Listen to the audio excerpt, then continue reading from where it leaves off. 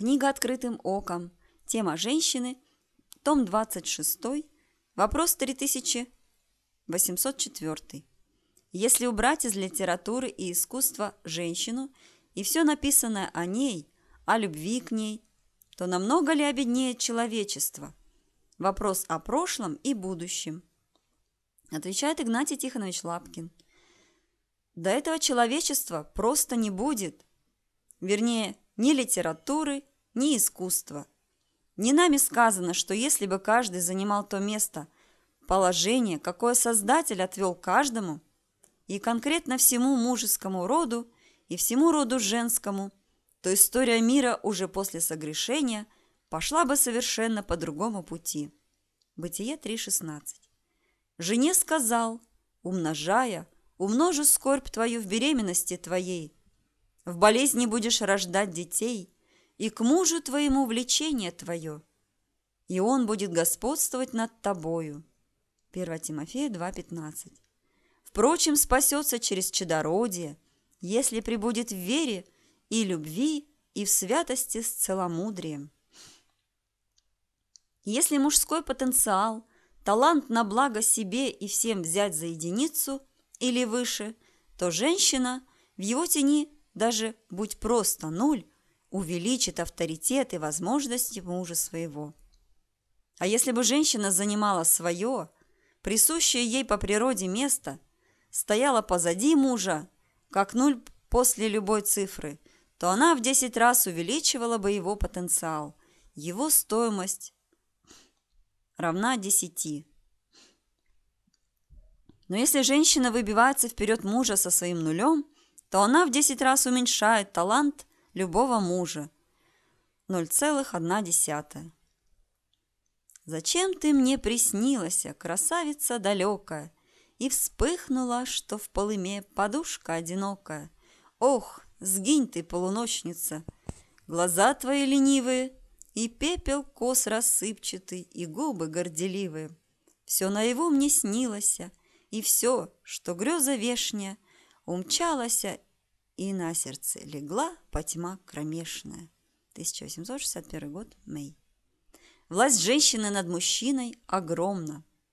Вторая Ездры 4, 14 по 32 стих. «О, мужи! Не велик ли царь и многие из людей, и не сильно ли вино? Но кто господствует над ними и владеет ими, не женщины ли?» Жены родили царя и весь народ, который владеет морем и землею, и от них родились и ими вскормлены насаждающий виноград, из которого делается вино. Они делают одежды для людей и доставляют украшения людям, и люди не могут быть без жен. Если соберут золото и серебро и всякие драгоценности, а потом увидят одну женщину, хорошую лицом и красивую, оставив все, устремляются к ней и, раскрыв рот, смотрят на нее, и все прилепляются к ней более, чем к золоту и серебру, и ко всякой дорогой вещи. Человек, оставляет воспитавшего его отца и страну свою и прилепляется к жене своей. И женою оставляет душу и не помнит ни отца, ни матери, ни страны своей.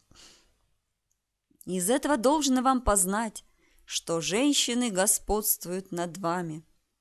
Не, подъем... не подъемлете ли вы трудов, и не напрягаете ли усилий, и не отдаете ли, и не приносите ли всего женам?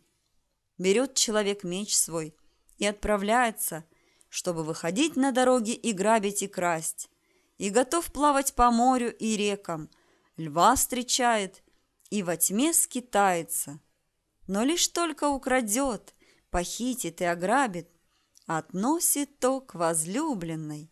И более любит человек жену свою, нежели отца и мать. Многие сошли с ума из-за женщин и сделались рабами через них. Многие погибли и сбились с пути и согрешили через женщин. Неужели теперь не поверите мне? Не велик ли царь властью своей? Не боятся ли все страны прикоснуться к нему? Я видел его и Апамину, дочь славного Вартака, царскую наложницу, сидящую по правую сторону царя. Она снимала венец с головы царя и возлагала на себя, а левой рукой ударяла царя по щеке. И при всем том царь смотрел на нее, раскрыв рот. Если она улыбнется ему, улыбается и он. Если же она рассердится на него, он ласкает ее, чтобы помирилась с ним. О, мужи! Как же не сильны женщины, когда так поступают они. И волосы рыжие, и тонкие запястья, и губ запрокинутых зной. Спасибо тебе за короткое счастье, за то, что я молод с тобой. Протянутся рельсы и лязгнут зубами. Спасибо тебе и прощай. Ты можешь не врать мне про вечную память, На все ж вспомнешь невзначай. Тщеславие твое я тревожу немножко, И слишком ты в жизни одна. А ты для меня пасашок на дорожку, Последняя стопка вина. Нам встретиться снова не будет оказий, Спешат уже черти за мной. Ты тонкая ниточка радиосвязи С моей ненаглядной землей. 1963 Лев Ашанин Изволь ведать, что скорбь есть смертельная всяко. Когда кто любит, верно, но жестоку безмерно, И которая смеется над ним всюду така, Можно ль жить любовнику, чтоб милу не видеть? Могу ли я в надежде быть, чтоб вас ныне умолить? Но ежели я, кака, возмог вас обидеть, Зато я через мою скорбь довольно наказан. Извольте умилиться, со мною помириться, Ибо я к тебе вечно через любовь привязан. Тридиаковский, 1730 год. Второе царство, 11, 2.5. Однажды под вечер Давид, встав с постели, прогуливался на кровле царского дома – и увидел с кровли купающуюся женщину. А та женщина была очень красива. И послал Давид разведать, кто эта женщина, и сказали ему, это Версавия, дочь Елеама, жена Урии Хитиянина. Давид послал слугу взять ее, и она пришла к нему, и он спал с нею.